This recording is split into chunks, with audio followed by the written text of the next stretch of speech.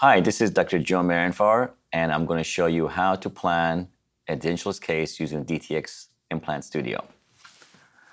So after the files have been imported in, what I like to do is just look at the volume and look at the three-dimensional rendering that's been done and look to see if there's any artifacts. If there are any artifacts, I can simply go on my patient mask and remove artifacts as needed. Now in this case it's really clean, so there's not much artifact that I have to reduce, but it's simply done and the software allows me to, do that. If there was any larger artifacts that were in space, I can simply uh, press the keep largest part and it would clean the files for me. Once that is done, in this case, the edentulous case, I like to locate my nerve. And pretty much you can just follow the screen. And in this case, I'm going to go under diagnostics, nerve, and you can see now a two-dimensional panel. This can be adjusted by going through the slices. And if the inferior alveolar nerve is not visible clearly, I can adjust my nerve slices. Simply remove these markers or add new markers or just by moving them side by side. Now, this patient clearly shows a very nice visible canal. So in this case, it's easy for me to uh, locate it. I can move through the slices. I can adjust my panel and have a clear view of the diagram. Now, we're just going to show you simple diagnostic tools here. Now for the nerve, I typically start with the left side. And once I find my canal, I can um, go ahead and start recording the nerve. And I can either slice, put my slices through the panel, or I can go through slowly in through these images and pick my markers. So either way, it gives you what you need.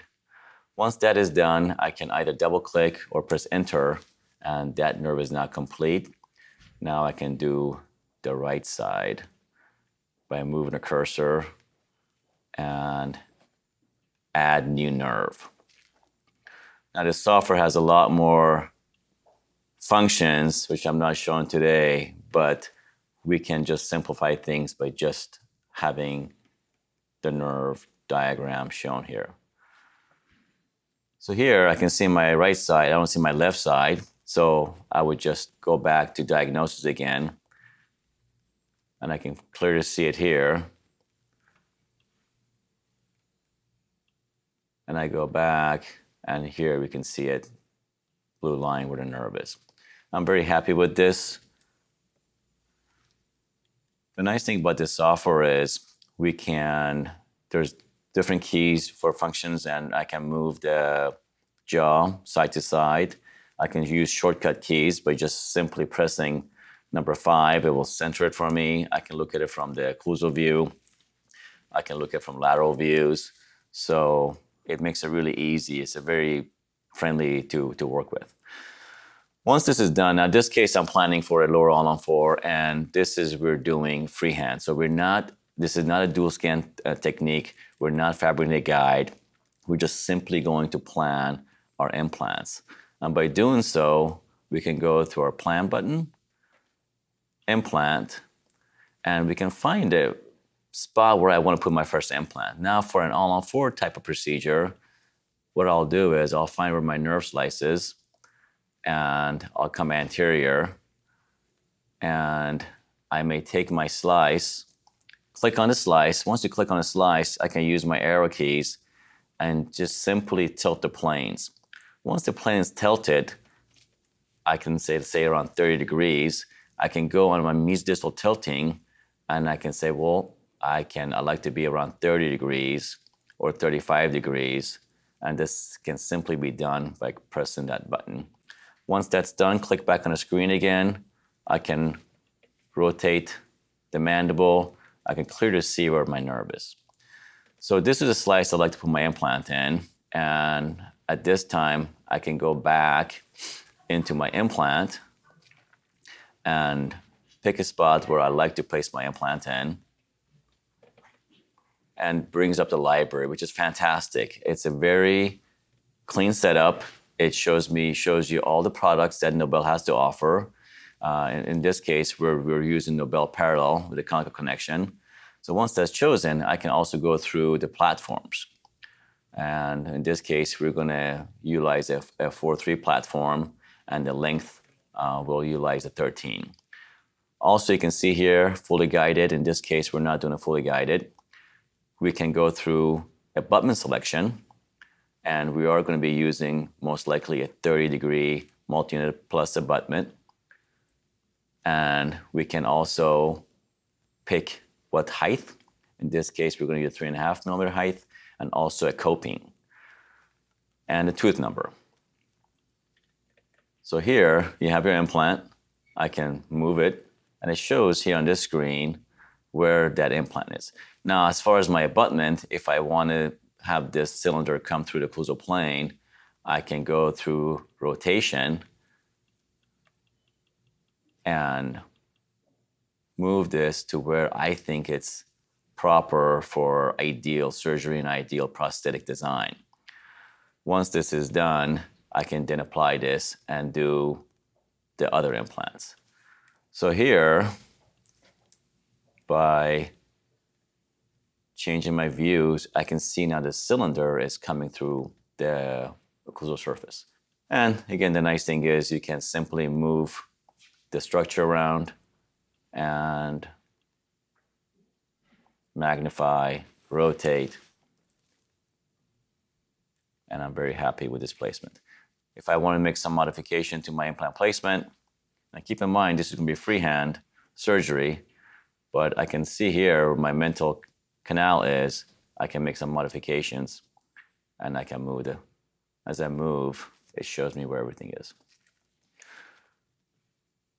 Needed to be, we can duplicate this implant by, by clicking on the implant again and parallel implant. In this case, we're not, we're just going to add another implant on the lower left side. Typically with these cases, I like to plan my posterior cases first, and then I'll move to the anterior.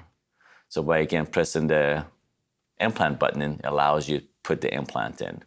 Now in this case, what we'll do is we can go here to as far as set focus. The nice thing with this function is once I click that, I can find the slice where I want to put my implant and automatically puts that slice. Now we need to correct our plane and by using my arrow buttons, I can find a plane where I'd like to place my implant on the lower left. Go to our plan button, implant, same thing. One click and one click at the apex and it will pick, already it's kind of picking for us what implant as far as the dimensions, we're just going to shorten it to a 13. Now we can go ahead and change tooth positioning by using this diagram. Here in this case, we're not doing fully guided. We're going to be freehanding and we're going to use, again, another 30 degree abutment for three and a half millimeter collar with a coping. And voila, we have our implant. Now we can make some modifications, we can make some adjustments. I can click on this screen and make some changes, or I can use just the, on the left screen, and they're all active screens, so we can make a modification changes. Again, change the rotation. So we have our multi-unit being rotated and bringing the coping to a level where it's favorable. Now you can see the angulation is off. I can either correct that with the implant, but then you can see in this screen, we're coming a little bit towards the facial, or we can continue our uh, rotation to get the desired outcome. Another option I have here is I can come to the this function here, and now it's more anterior posterior positioning, and I can increase my angle to give a desired outcome. So here now I have better outcome as far as the placement. Then I look at my AP spread to see do I have enough room to possibly move this implant posterior, and I do, so I can do that. For the anteriors, a little bit more simpler.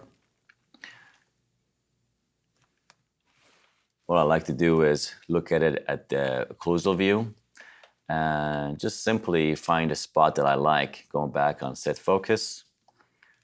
Pick a site that I like is typically distal to the laterals or anterior to the cuspids. Once I find my slice, I will go ahead and upright the slice. And you can you know you're uprighted by clicking the mesodistal tilting. So here I'm minus one, I was close. Zero, and I can go ahead and plan, implant, pick my two points, pick the implant, 4 3 by 13. It's not going to be guided. We can turn that off freehand. Standard abutment for this most likely use at 17 degrees. Two and a half, coping, yes please. Select product.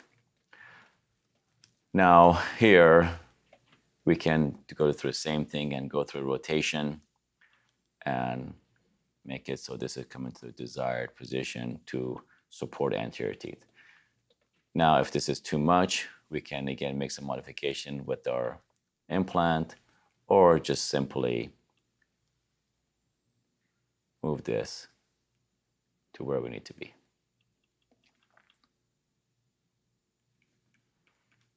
By doing so. Now, after this is done, it becomes a little bit simpler. I can simply click on the implant. Once this implant is highlighted and activated, I can put parallel implant. I can pick a site that I want, and then the software will just automatically do that for me. So I'll press set focus, the site that I like. Once the site's picked, it shows me the site. I can click on this implant, and I'll just say parallel implant. And I pick my position, and it will drop the implant in. Makes it much easier for this purpose. And this is really how I plan a lower mandible uh, non-guided all-on-four surgery. Thank you.